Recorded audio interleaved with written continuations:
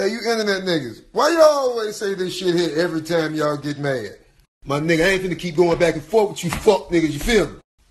Then the next video be like, look, my nigga, I ain't with the jaw jacket, my nigga. You know what time it is, shit. Pull up.